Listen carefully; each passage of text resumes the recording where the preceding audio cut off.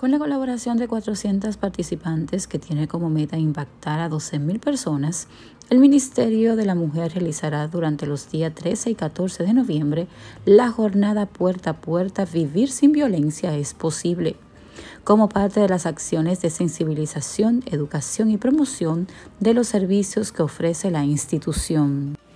Y en esta semana, especialmente lo que compete a nosotros como provincia, porque ya se ha iniciado a nivel nacional.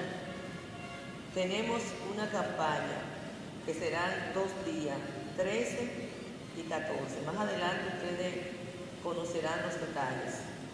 13 y 14. Una campaña casa a casa con la cual se busca decirle a la gente que es posible vivir sin violencia nos vamos a organizar, no vamos a dejar un lugar sin visitar, sin concientizar. E, es el momento de que la gente entienda que sí podemos.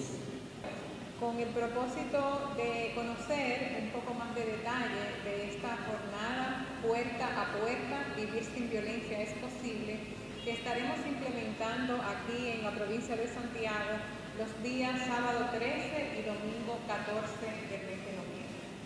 Esta jornada que tendremos aquí en Santiago hace parte de un trabajo que el Ministerio de la Mujer, encabezado por la ministra Mayra Jiménez, está llevando a nivel nacional en el mes de noviembre, que es un mes emblemático, como todas sabemos, en lo que son los esfuerzos para prevenir la violencia intrafamiliar y de género.